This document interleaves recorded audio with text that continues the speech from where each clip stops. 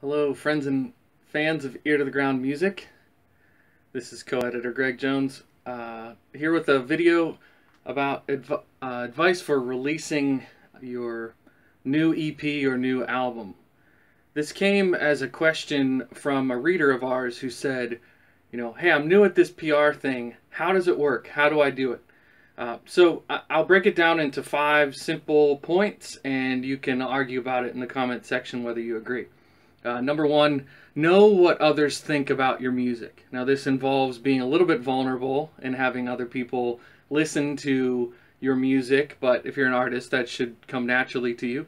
Uh, so, put your music out there to friends, family, and say, who does this sound like? What category should it fit in? And I know sometimes artists don't like uh, categories and genres, but I would highly recommend that you find is it country, is it Americana, is it folk?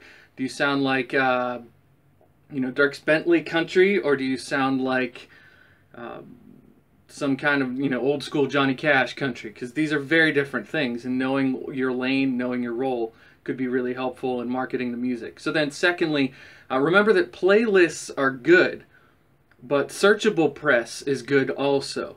So let's say, you know, you get out there and you're on a playlist, you might get discovered in the midst of 50 other artists, something like that.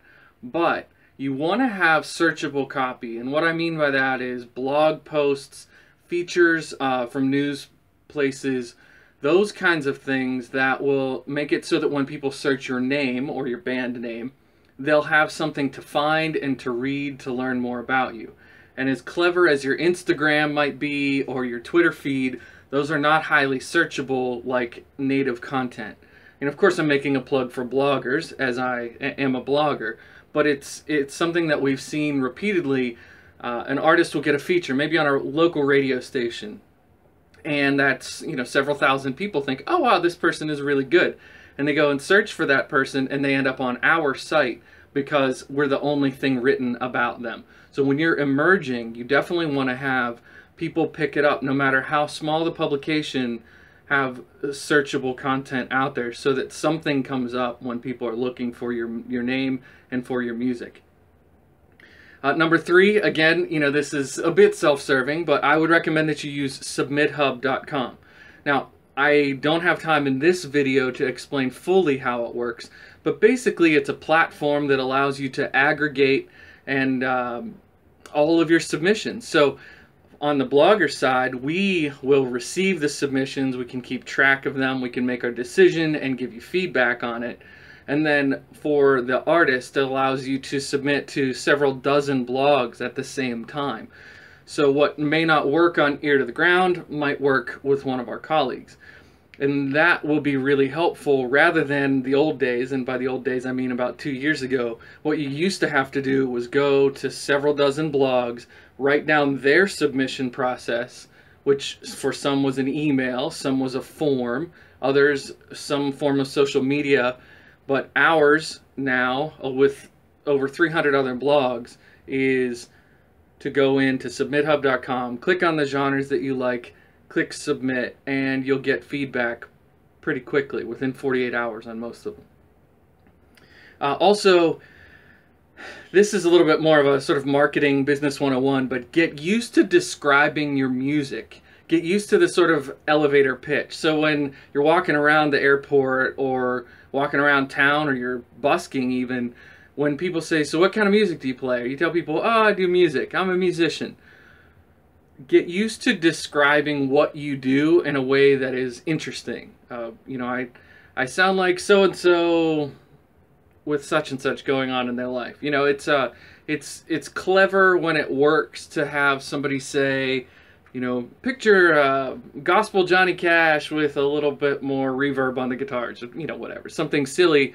But it makes people say, okay, here's a hook, here's somebody that I've heard of, somebody that I know, and either an effect or with you know the talk about your lyrics or talk about your style or your mood or the type of venues we, you play you know, picture U2, but in a coffee shop. You know, okay, I don't know that I would necessarily be interested in that, but it's the, the example of being able to give somebody a sentence to maybe three to answer what your music is about. So why does that help with releasing an album? Well, people aren't inherently going to go out and grab something in, unless they already know you and they like you.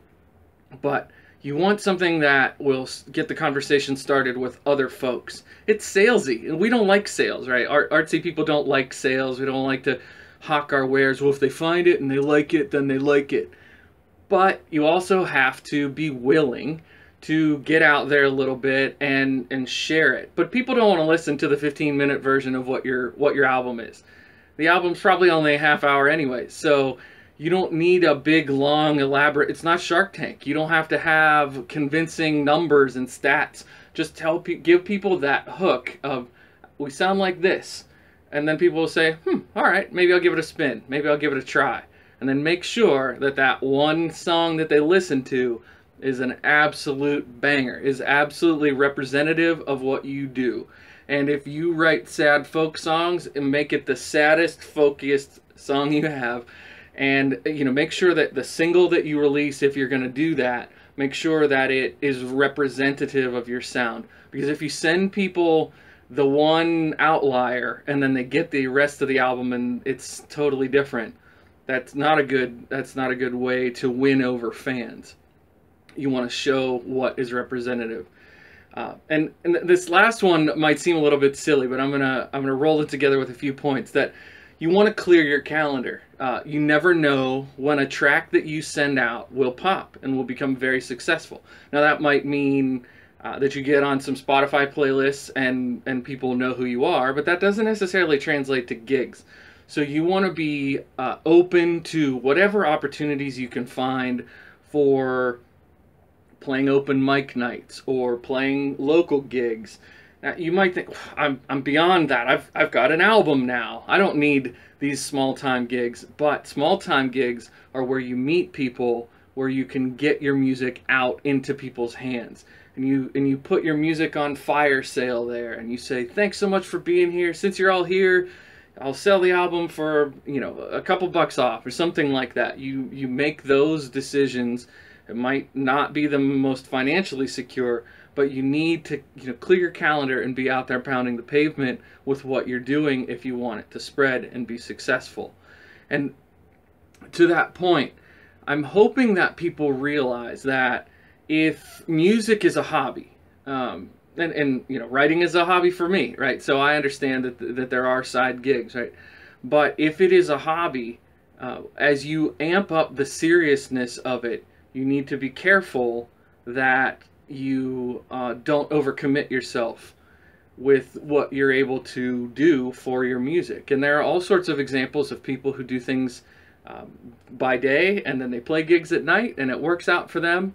Uh, and so if, if that's what you want to be doing, then that's perfectly fine. But what I'm trying to say is if you're one of these folks who's saying, I'm going to make it big and I'm going to quit my day job and I'm going to go out there and grind uh, it, might take a little bit of time. That's why I said clear your calendar because it, it might mean you get a new gig Saturday night because of a song that came out or because of an appearance on a local radio show, right? You might get something immediate and have some powerful immediate response, but it could take months.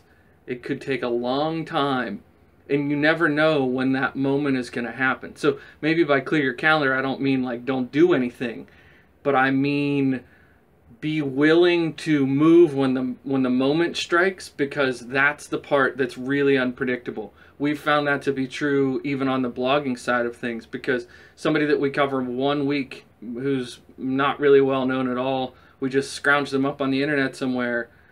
A couple weeks later, they make it they have a song that charts and suddenly there's tons of traffic for people wanting to know all about that new artist.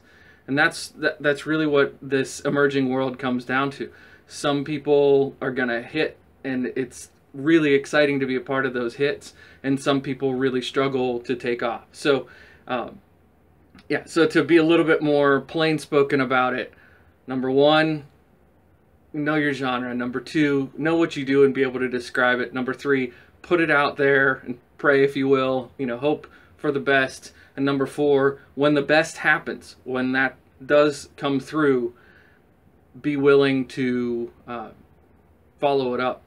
And, you know, I, I could give practical advice about how to write a press kit or how to share your music with people who aren't on Submit Hub, or how to use social media to share your music. Those are all perfectly viable topics. But at the end of the day, if you are not able to sell your music with your personality and with your style and understanding what you do and why you do it, it's going to be really hard to get people to buy into that story. Uh, hopefully that that that is helpful, and hopefully, uh, my friend, I'll, I'll go ahead and shout her out. Good luck, Sarah. We're rooting for you. Hopefully your album does your album does well, and hopefully some other artists benefited from this video. Have a good day. Bye bye.